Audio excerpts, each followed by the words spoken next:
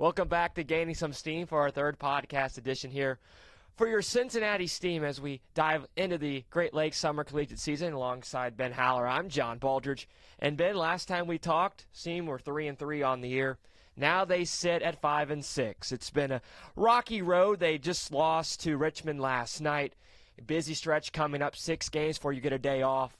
Steam active and trying to win some ball games and play for this playoff hunt. Yeah, I mean, it's just really been ups and downs to the start of the season. About two weeks in, we are right now. And, you know, the way the schedule works, you get a round robin. First six games are against the other six teams in your division. Then you go into pod play, where you play the uh, other two teams in your pod twice. So Cincinnati went three and three in that first round robin round, and then they went two and two, another perfect 500 in that pod play. So, like I said, just just the ups are kind of weighing the downs down right now in terms of you know a lot of offense in the start of the season, the uh, the bats have kind of fallen asleep a little bit. They woke up a little bit last night, but that Xenia game on um, Sunday wasn't the uh, best offensive night for the Steam either. But then the pitching, the bullpen has gotten better. But then you still go back to that 18 16 game against Xenia at at their place at Xenia, where it was just. Uh, it's just the walks. I mean, yeah. It's really what it is. I mean, we talked about it a lot and a lot. And, you know, it's one thing if other teams are just hitting Cincinnati really well. They really aren't. I mean, teams are hitting Cincinnati decently well, but there are just so many free bases given up. We spoke about it last night. We talked about it saying we think Cincinnati might have one of the best offenses in the South Division and we go back to where you're three and three on our last podcast last Friday. This team had a doubleheader that day against Hamilton, lost the first game on that game that was restarted from Tuesday, 14 to one. They were won the second game. They were tied 1-1 going to the seventh inning and a seven inning doubleheader. Scored seven runs in that winning inning to sc- win the ball game 8 to 1 then they went to Xenia on Saturday where they put 18 across the board won at 18-16 lost at Xenia on Sunday as we mentioned didn't score in that ball game 11 nothing postponement on Monday against Licking County and a, loss last night to Richmond 7 to 6 but Cincinnati only has scored those six runs in one inning in the last 18 innings, going back to that game where they scored 18 on Saturday. So it's been a very up and down offense, and the offense hasn't been stable inning, inning in and inning out, and game in and game out for the Steam so far. Well, it's hard. I mean, I know you look at the last two games and you want to say it hasn't been stable, but you know, you're, you're always going to have slumps like that. No matter what level it is, no matter who you're playing, there's always going to be slumps like that. Overall, I do think the offense has been consistent. I think if you look at the numbers, and it's hard to compare North to South, but at least in the South Division, I don't think there's any question Cincinnati has the best offense in the South. You know, everyone you're playing the same competition, and the numbers are far better than anyone else. Still better than anyone in the North, but then once again, it's hard to compare because the pitching's a little different. The pitching, though, the the numbers are, are towards the bottom. The ERA, as of a couple of days ago, was was the bottom of the league. Errors were second to last in the league, not just the South, but the whole league in general. So I, I, know the. Uh, I, I understand where you're coming from. When you're talking about how the last couple of games you want to say the offense hasn't been stable, but there's always going to be slumps, and I have no worries about the offense right now at this time. You talk about the pitching, and we spoke about it. It's been up and down, and we've had good starts. William John has pitched well. Brendan Garula uh, Calvin Mitchell, but this bullpen has been the problem. We saw it last night when a chance to get out of the game for Noah Candell had the bases loaded with two outs in the bottom of the eighth and a tie game at sixth, walked home the leading run that went on to win the ball game for Richmond. How do you get the pitching to be more stable and more consistent? Well, I think I think it's uh you. I kind of want to put an asterisk on that one yesterday. That was a really good performance from Candell. It was a a weird strike zone that we were seeing over there in Richmond. I think Cincinnati. That was a game where Cincinnati. It just wasn't their night. They, they the fact that they were able to fight and get back into the game where it seemed like everything that was going against them is really impressive. William John had such a great performance. Gave up three runs and I think a five inning start, but only gave up one hard hit ball the whole night. I know I know we were yeah, he went four, but he had a very good outing, yeah. and that was the first outing he's gone this year where he's given up more than one run. So to go out there and him do consistently that, and says he hasn't pitched in two years, didn't pitch for his spring team in 21 or 22 for Cornell.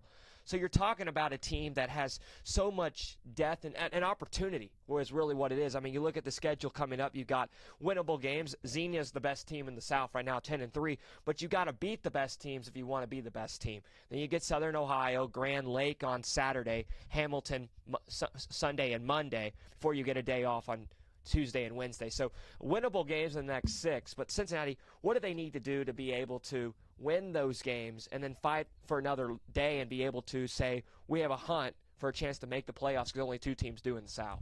Well, I think if you really want to get logical and break this down, you start with the six games that are the round robin, and you go three and three in those. And then you play that first pod play, and you went two and two, so you're five and five.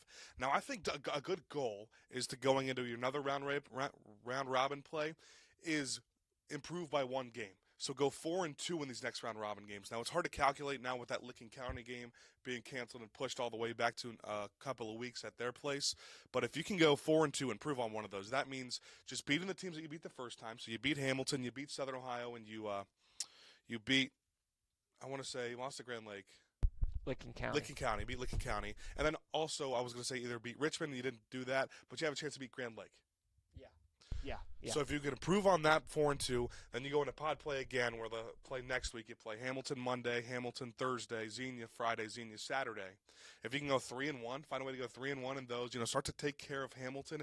That's going to be the key: is how well you can play against Hamilton. But it's just improve by a game each time you break this schedule down, and then I think you, at the end of the season, you know, you, you keep improving on that, and and you're sitting pretty in second place in playoff picture. And I think the thing is the death on this team. You talk about the middle infield. You got Brennan Rowe, who's hitting the ball so well, is the best average on the team. Sean Springer was named Player of the Week by the Great Lakes League last week. Came in after start of the year on the DL, went six for 12, batted 500 on seven walks.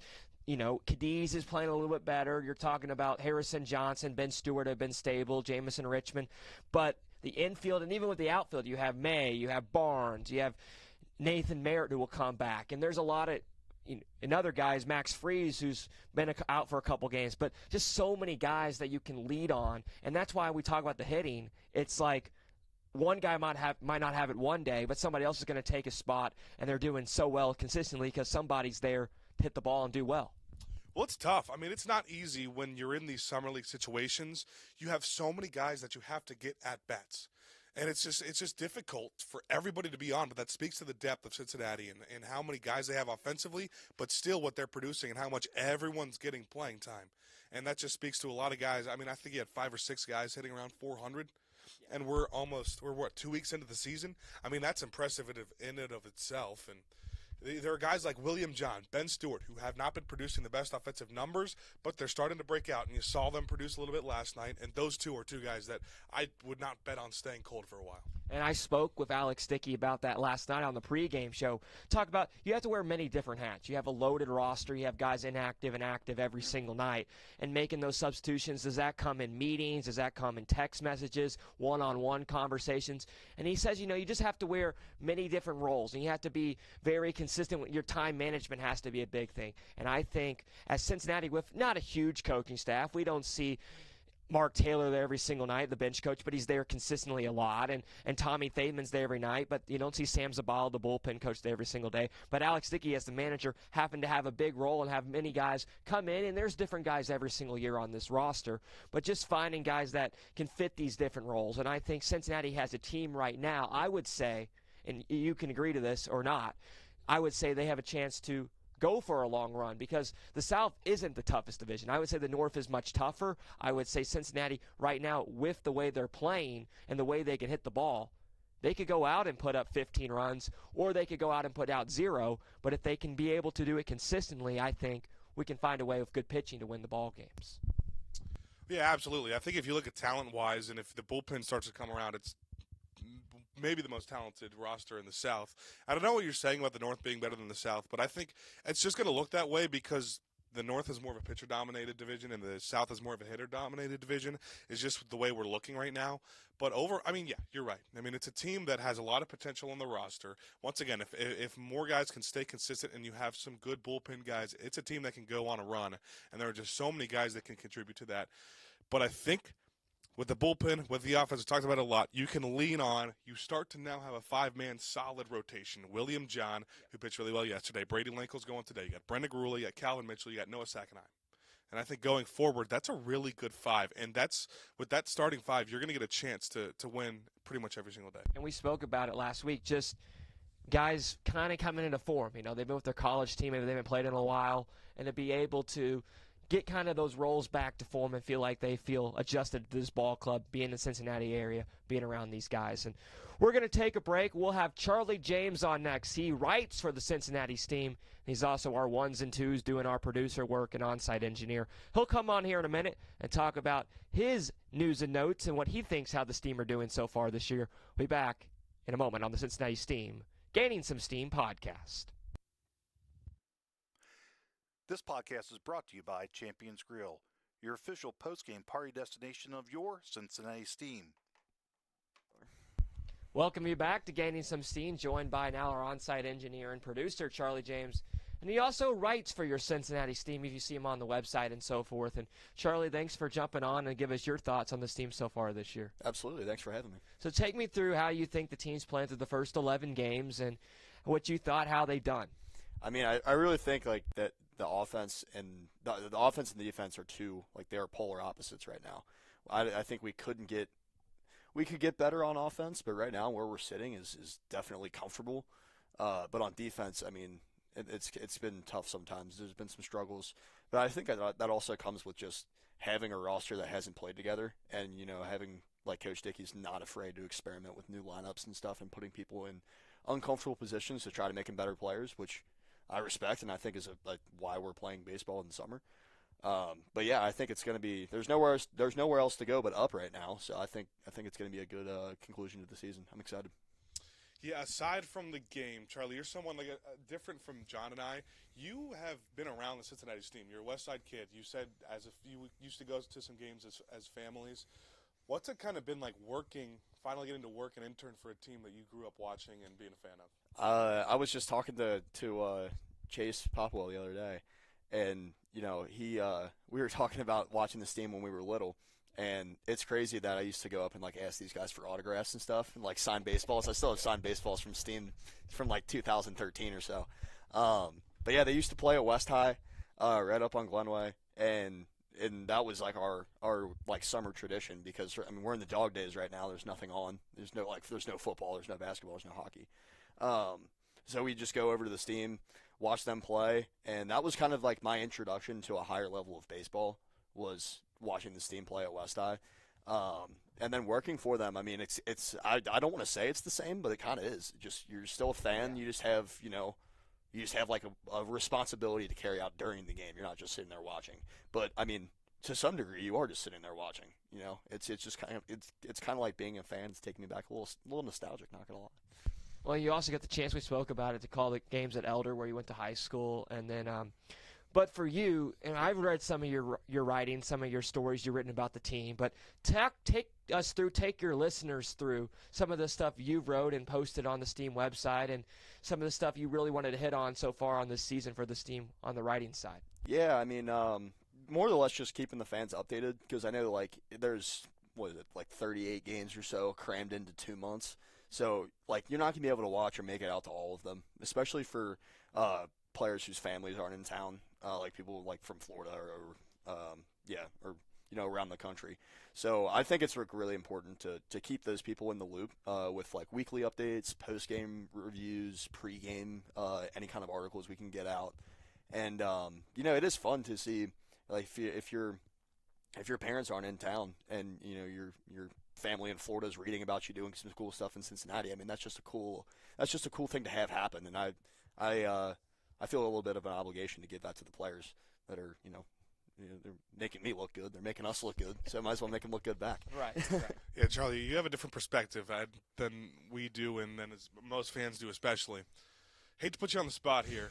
Who has been the most fun or maybe the most interesting player to write stuff for to work with? Um, most interesting player, I'm probably gonna have to say, uh, either Ben Stewart or Riley Parker.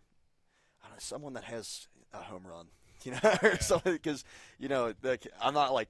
You know, it is it is just the way things go. The statistics kind of speak for themselves a little bit in terms of the writing end of things. So it's it's a lot easier to write about people when they're doing things. Um, and so, yeah, I mean, like Brennan Rowe, like people that are just slapping the ball around right now. I mean, they're they're easy to write for, and they're they're fun to watch. So You mentioned the difference between hitting and pitching right now, and you've got to know Riley Parker. You've mentioned a lot about Florida. He's from Florida, but you know he's been a crucial part. As a lot of these guys have been to the hitting side. What has been so helpful, so exciting about this hitting for Cincinnati? And, and you've been a fan your whole life of this team. Have you ever seen it like this, where you've been able to put runs across the board? Pretty much so easily, this team have done so far the first 11 games. Yeah, I think some of that comes down to the fact that you know playing at XU, the poles are 310, and you know center field is 350. Um, and at, at Elder, we still haven't seen a home run at Elder, and I don't think we will all year. I've only seen two there my entire life. Um, but I mean, I in terms of if I can remember the last time uh, this like runs were being scored at this volume, um, I honestly I don't think I can say that I remember the last time that we were putting across runs this consistently and with like with this much the volume. We put up 28 against uh, was that Southern, Ohio? Ohio Southern yeah. Ohio, yeah. And um, but yeah, I mean, like on the pitching side, uh, it's definitely getting better. I mean, you can you guys talked about the starting the starting rotation that we're kind of settling into. It's absolutely getting better, and uh, I think you know, like I said, there's nowhere to go but up for this, for especially on the pitching front right now. So I think it's going to get better. Who has surprised you the most on the Cincinnati team? I mean, offensively, especially, there are some guys that we didn't really expect to put up these numbers, but 11 games to the season.